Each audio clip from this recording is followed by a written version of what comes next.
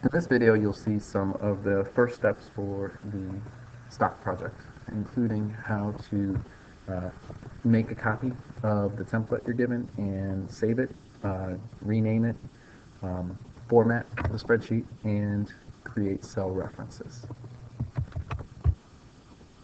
The first thing you're going to do is open up uh, your file that I will send you called stock project template.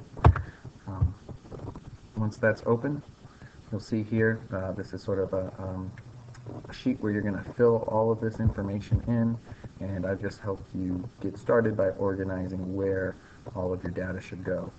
Um, it's sent to you here as a, a view-only uh, file, which means if you try to type in it, um, you are you cannot type in it, so you can't change anything on here. So what you need to do is click on File and make a copy. Okay. And then there's a specific way we would like you to uh, name your file. You want to use your section. So I'm going to pretend I'm in section 6E. And Ms. Nelson is my partner. So I'm going to write both of our last names and then stock project. Okay, once I've saved uh, it with the new name, you will see once it loads that the new name appears right up here. And now since it's my document, I am able to write in here uh, whatever it is that I need to write in.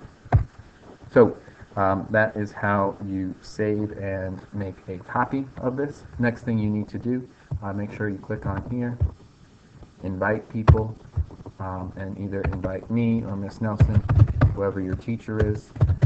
Uh, at, uh, these are Haverford addresses. And make sure it's clicked here to edit, because lots of times Miss Nelson and I will leave notes for you on your spreadsheet, and we need to be able to edit it in order to do that. Okay? And then once you're done with that, you can click on Send.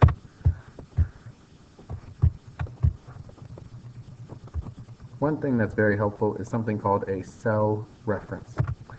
Uh, so let's say I wanted to invest in these three stocks, IBM, um, Apple, and Google. Say those were the three stocks I wanted to choose.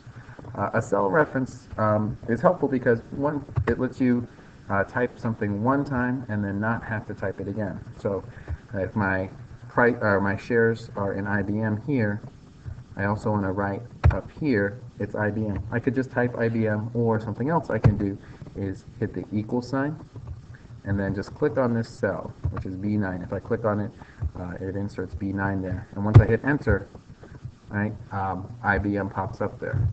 Do the same thing over here, equals, and I'm going to click on now C9, and Apple will pop up there.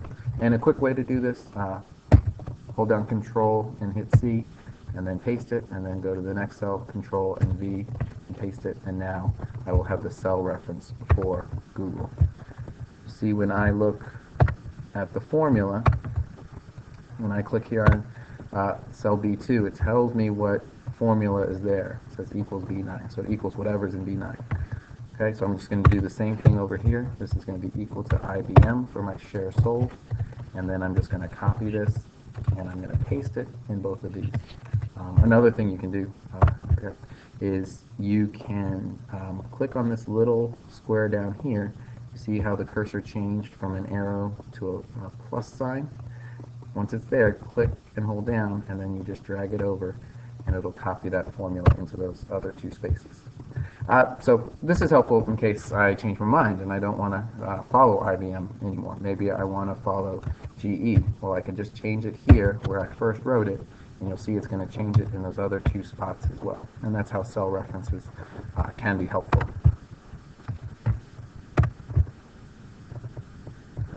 Finally, I want you to see how to format the data uh, to make your spreadsheet look a little bit nicer and more presentable. So for GE, uh, I can change the color of the background. Um, let's say I want to change it to this blue color. Um, that's how you would do that. If I want to change, I, I think it'd be better if all of the uh, labels here that have GE on them have the same color. That way you could tell they're the same apple. Perhaps I want to use green for that. And again, I'm just clicking on the cell and then clicking on this box up here. That changes the background color uh, to change those. Um, and Google perhaps we'll use an orange color for them.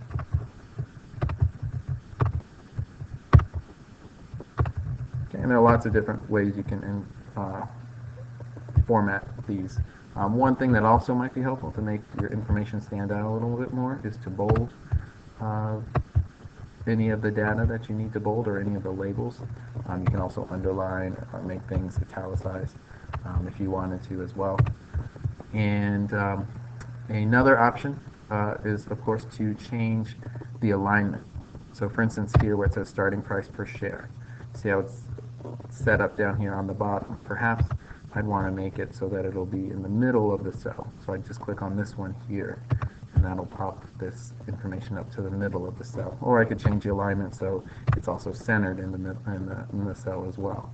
Um, and that's another thing you can do, which is very similar to what you have on any other um, Word or any other document like that. All right, so that is how you will save uh, your document, um, how you use cell references, and a little bit on how you format uh, your information. Okay, good luck, and if you have any questions, uh, feel free to ask.